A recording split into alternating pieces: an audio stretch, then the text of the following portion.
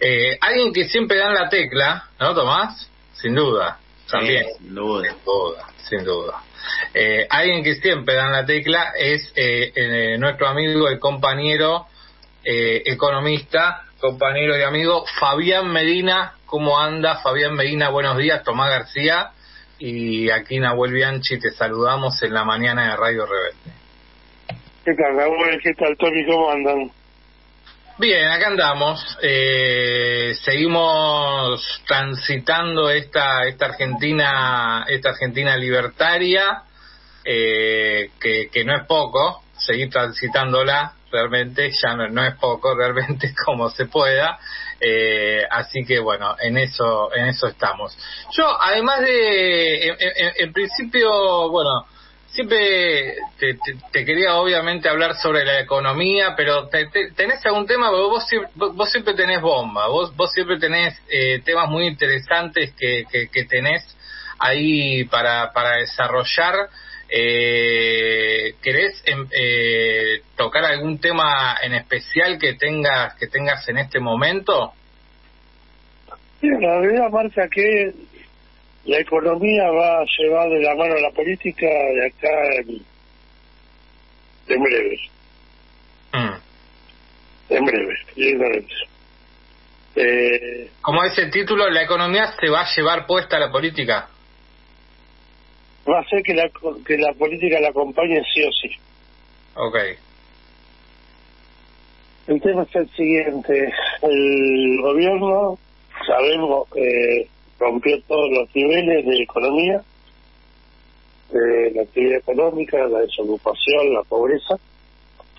Ya lo veníamos sabiendo que era, la inflación no era el tema, porque ah, con los dichos del señor presidente de la Nacional el año pasado, cualquier idiota puede bajar la inflación con recesión.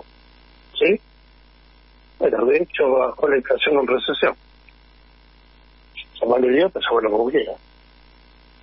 El tema es, es así, eh, vamos a bajar la es para darle, darle bola, hablando mal y.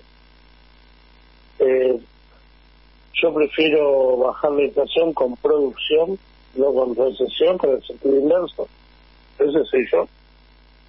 El que está gobernándose, la gente dijo que era la inflación, ahora está, está dando cuenta que el problema es la desocupación la pobreza. Vamos a tener problemas con las boletas de servicios ya este mes, porque le quitaron parte de los subsidios. O sea que sin aumentar la tarifa, el bolsillo lo está sintiendo. Por cuatro, por cinco veces las boletas de luz, de combustible, están quedando, se quedaron sin reservas del Banco Central. Eh, el último dato que uno tiene son de 6 mil millones negativos de reservas. El ministro Caputo viajó a el G20 de Brasil a pedirle al Fondo Monetario que le mande 15, los 15, aquellos 15 mil millones que Alberto Fernández dijo que no, no los quería porque era imposible de pagar. Es una realidad, es imposible de pagar. Eh, el Fondo Monetario, desde que salida lleva, más allá de que esa foto no sabemos si es photoshopeada o qué que le falta la mano, o es que le antes le había dado la mano a Caputo y la perdió, no sabemos. Eh, me dijo que no. Se reunió ayer con el con la Secretaría del Tesoro de Estados Unidos, que dijo que no. Tiene un problema muy grave de reservas. Se está quedando sin nada.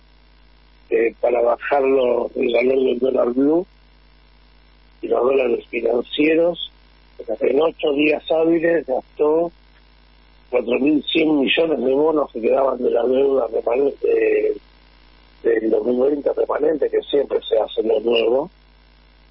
Los gastó en ocho días hábiles, se quedaron sin reservas de bonos para regular el mercado.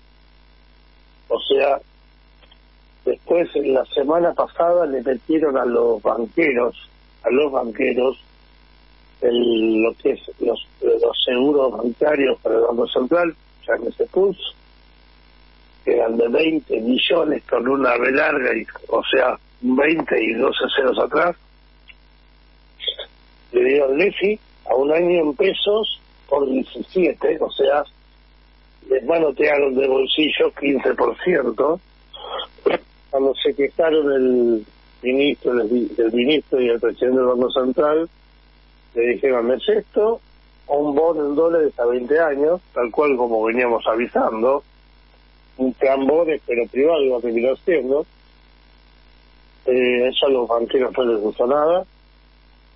Y como ya les contaba las costillas, saben que no tiene más bonos para regular mercados, quedan a disposición de la buena voluntad de los banqueros que no quieran intervenir en el mercado de bonos comprando la cantidad diaria un poco o pidiendo más de los bonos que se venden, con lo cual el valor sube, sube el dólar blue, y yo calculo que vas a llegar a valores de 1.700, 1.800 más temprano que tarde, ya la semana que viene, más tarde la otra, con lo cual el ministro, como es normal y habitual en su en el mismo, agarra las valijas y se va a tomar solo a Brasil. Eh, lo, cual después viene una devaluación, otra devaluación monstruo como diciembre. Devaluación monstruo me refiero a que el Fondo Monetario está pidiendo 1.900, el campo está pidiendo 1.900, está en 9.20 el oficial, 9.30, 9.50. Estamos hablando de por lo menos un 100% de devaluación en manos de Esper o de Daniel Reidel, que es el jefe de asesores económicos del presidente, porque no creo que Sturzenegger se meta en ese juego. Eh, puede ser muy todo lo que le diga, pero no creo que sea idiota. Eh, la gente después, después eh, la, la, la gente va a ver si resiste o no resiste el ajuste. ¿Por qué? Porque ese 100, 110% de aumento significa que te va a aumentar el doble el gas, la luz el agua, el combustible, y se va a correr la inflación, se podría llegar a correr la inflación en cuatro meses de esta vuelta. La vez anterior se corrió en seis. Por eso yo te digo que la economía va a llevar de la mano a la política. Fabi, ¿cómo ves esto, estas noticias que están, están girando por, por los distintos medios oficialistas que dicen que eh, los salarios le están ganando la inflación? en este estos últimos meses. Digamos, algo que ninguna persona está sintiéndolo, por lo menos. A ver, por mi lado, soy una realidad. Puede haberme ganado un mes, pero hace ocho, hace seis meses que voy a estar bien. ¿Cuál es la diferencia? 8% contra 4. Pero cuando tenías 25 no te dieron 25% de aumento. Cuando tenías 20 no te dieron 20% de aumento cuando tuviste, tuviste 25, generado por ellos, una, esto es una hiperrecesión o depresión autogenerada, porque no saben cómo salir de la misma depresión que ellos mandan, a, la cual ellos mandaron al país. El RIGI no es solución. El RIGI la única, lo único que genera para hoy, para venir ni siquiera de trabajadores argentinos, lo que les permite traer trabajadores del exterior, inclusive llevarse todo lo que sea, lo que traen se lo pueden llevar. O sea, ¿cuál es la desesperada? Es, a ver, está, en realidad el gobierno está apuntando a que gane Donald Trump en enero, pero el problema es que estamos en julio tenés seis meses. Vos está bien que el, el, gobierno de esos seis, siete meses que comenzó, pero eso no significa que la gente aguante un año pasando eh, hambriada. Cuando la gente les, cuando a los padres les falte la comida para darle a los hijos, yo no sé qué punto va a ser de no salir a la calle a buscar la comida. Eh, a ver, vas a generar eh, odio más grande con los cuales con los que ellos llegaron al gobierno. De hecho, ya tenés, fíjate que cualquier, cualquiera de los últimos dos gobiernos, para no entrar mucho en el detalle, a esta altura Mauricio Macri tenía más del 70% de aprobación y Alberto tenía más del 80%. Él no llega al 50%. Se están, se están creciendo los jugadores propios. Y todos los y todos los funcionarios que se quedaron del gobierno anterior y del otro gobierno es por decisión propia. Nadie les dijo que se quede, ¿eh? salvo la nueva la nueva administración que, le dijeron que querían que se queden y ellos decidieron quedarse. No hay decisión política de ningún jefe de que se hayan quedado.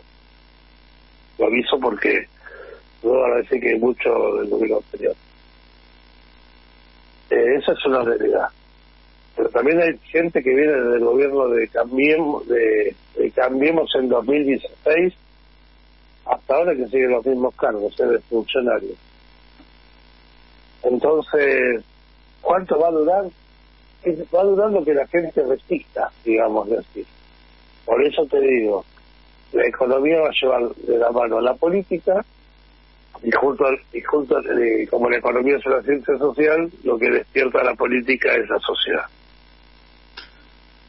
Fabi, ¿y qué, qué peso qué peso puede tener eh, el tema de FMI? Porque pareciera como que el FMI no, no está muy convencido de, de, apoyar a este gobierno, pese a, a, que hace un ajuste más, más grueso justamente del que piden, eh, pero pareciera como que igual no les convence, ¿no? Vos podrías, por ahí, en, la previa podrías decir, bueno, este gobierno con el FMI se va a llevar 10 puntos porque es ajustador, hace todo y más de lo que piden. Digo, pero pareciera que no, hay tanta, de hecho, de hecho mi ley hace acusaciones de, de operaciones eh, de, de, de, uno de, los funcionarios del FMI contra su gobierno. Eh, ¿Qué detrás de eso? Mira, la realidad marca que el FMI, después del ajuste brutal que hizo este gobierno, porque es brutal lo que hace, es a la bestia. Eh, vos no podés, por ejemplo, por tener sospechas de corrupción, eliminar los medicamentos oncológicos. No podés quitar prestaciones por discapacidad. No podés eliminar tantas cosas que están eliminando, la cultura. No podés teniendo comida no distribuirla el FMI le dijo que tiene que cuidar a los más vulnerables. El FMI le dice, por bueno, no, lo dice por algo mucho más directo. Si dentro del estallido social, la crisis social es una crisis económica financiera y el FMI no, le no cobra más. Y lo que dijo de Rodrigo Valdés, el jefe del de, hemisferio occidental, eso, esto salazas porque no les no le dan lo que ellos quieren. Operan como nenes caprichosos. La realidad marca que les, están pidiendo 15 mil millones de dólares, no se los quieren dar, les quieren la baja de, la tasa por haber firmado por 58 mil millones de dólares cuando día correspondía 10. Sabemos que eso lo firmó Caputo, ¿no? En mayo y en agosto de 2018 los firmó él los acuerdos. O sea que mejor que él no lo conoce nadie, el acuerdo original. Después fue Guzmán y renegoció, fue Massa y terminó de desarrollar la renegociación. Y ellos quieren que le den, que se agarren del acuerdo original. Lo cual el acuerdo original ya está cerrado.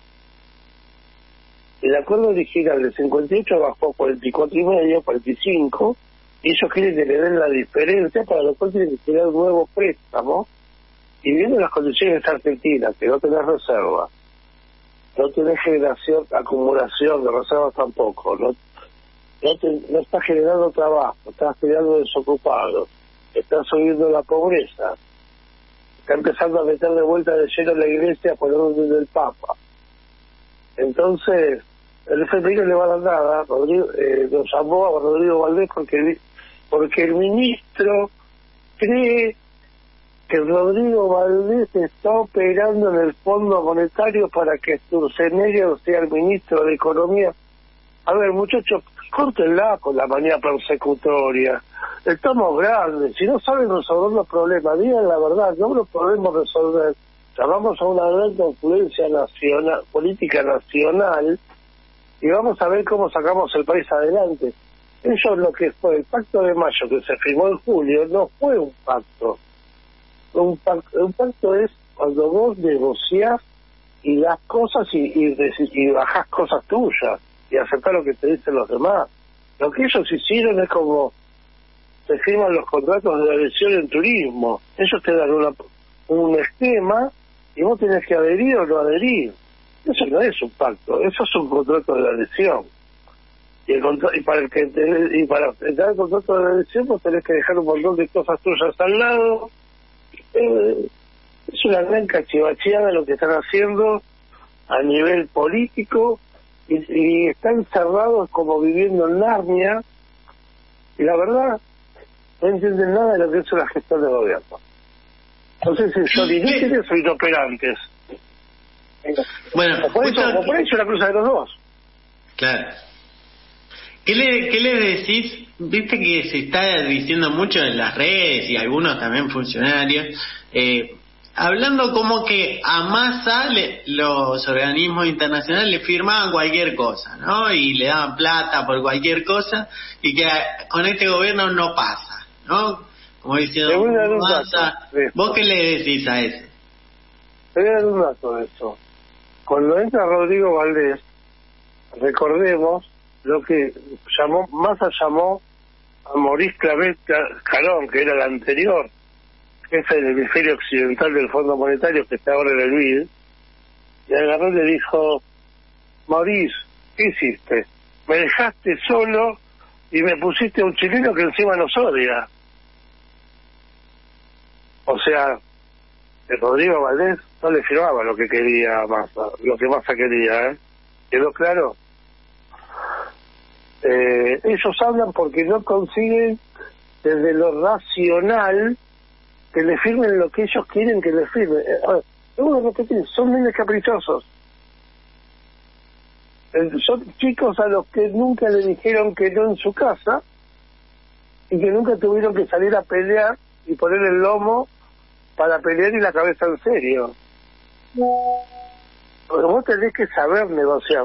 A ver, vos podés negociar, vos vas a negociar, no vas a imponer. Una negociación es áspera una negociación puede durarte de cuatro a seis meses. Y lo que te está diciendo el presidente ayer, eh, para fin de año tenemos el acuerdo sonoro, es mentira. Porque ya te dijeron que no tres veces este año. Y, te dijeron que no, en vivo tres veces, y cuatro veces te mandaron una nota diciendo que no te lo van a dar. Él quiere ganar tiempo para llegar a la elección de noviembre en Estados Unidos, según él gana Trump, yo te digo, hoy tengo mi... Eh, la campaña de Trump estaba dirigida contra Biden. Biden se baja, los descoloca, llega Harris, y si a Harris le puede llegar a sumar, por ejemplo, Michelle Obama de vicepresidente, o vicepresidenta, eh, yo creo que a Trump lo aplasta. Pero supongamos que inclusive así gane Trump. ¿no? Gana Trump en noviembre, asume el 20 de enero y hasta mayo no puede disponer de fondos porque tiene que reacomodarse en el esquema de poder. O sea, ¿vas a aguantar un año? Si, si tenés 6 mil millones de reservas negativas y tenés pagos de deuda para hacer. La parte de que para mí están, estarían vaciando el Banco Central. Fíjate, el, el, los países de los últimos 10, 15 años vienen comprando oro. ¿Por qué? Porque el esquema del dólar, que fue el que suplantó al, al patrón oro después de la Segunda Guerra, empieza a tener muchas muchas diferencias de valor el dólar. Y entonces empezaron a comprar oro.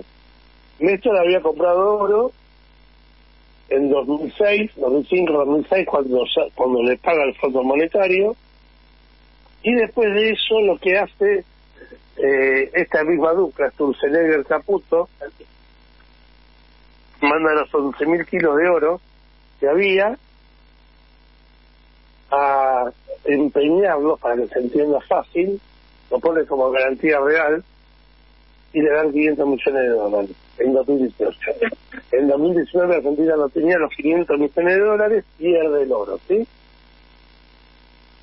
En 2021, Alberto, según este monigote, el peor presidente de la historia, yo digo que el peor presidente de la historia es él, junto con Fernando de la Rúa, de la historia moderna,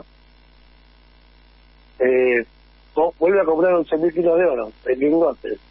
Ellos llegan, lo encuentran y como no hay nada, de dónde sacar plata, no hay más billetes donde rascar, porque se van a que pagar a, China también, empeñan el oro de nuevo, pero por 4.700 millones de dólares, por un lado. Todavía faltan 40 días para que te lo entreguen. Por el otro lado, hace 50 días atrás, con el decreto 23 de este año, del EU, el ministro Caputo saca 3.200 millones de dólares de la reserva del Banco Central y la manda al Tesoro. Y, está, y hace este fin de semana, no, el otro fin de semana, pasado el domingo, Pablo Quirno, secretario de Finanzas, anuncia que Argentina va a ser un fideicomiso en Estados Unidos por el monto de lo que hay que pagar en enero a los bonistas, que son 1.525 millones de dólares. Primer dato, la ley de fideicomisos en Argentina y Estados Unidos son exactamente iguales porque la nuestra es una copia de la de ellos. O sea que lo podías haber hecho allá o lo podías haber hecho acá. La diferencia es que allá lo pones únicamente con el con la firma del ministro, y yo te diría que la tendrías que haber puesto con la firma del ministro y el auditor general de, la nación que pertenece a la oposición, y le das transparencia tanto allá como acá. Pero además de eso, ¿viste que yo te dije que gastaron 4.100 millones de dólares en bonos para gastar los 50 pesos el billete? Bueno, eso 4.100 millones te generan 350 millones de dólares adicionales para pagar en enero. O sea, están, están sacando del centro, están sacando del central casi 10.000 millones de dólares. Eso no es un saneamiento, eso es un... Por eso yo digo que estarían vaciando el central. Los muchachos no, no saben nada, lo único que saben hacer son negocios y están del otro lado del mostrador. Caputo se puede ir tranquilo de la función pública porque puso que un socio de la consultora, presidente del Banco Central y los dos asesores lo nombró en el directorio del Central. Eh, a mi forma de verlo, vos tenés que saber muy bien lo que hace cuando estás en la gestión pública. Si no sos susceptible de tener juicios en serio. La realidad marca que hasta Marijuán lo corre ahora. O sea, digamos, eh, Abuel, Tony, el fiscal Marijuán, que yo sepa, el periodista no tiene nada. No. y los corre igual. Entonces son muy son desprolijos, son hacen a lo bruto, no saben trabajar, lo único que saben es hacer negocios bueno, van a tener que pagar por los negocios que hagan. El problema es que está cambiando, la, está cambiando el país. Estamos perdiendo todos, exactamente, estamos perdiendo a todos. Fabián Medina, te, te agradecemos mucho como siempre. Raúl, Tommy, gracias, abrazo.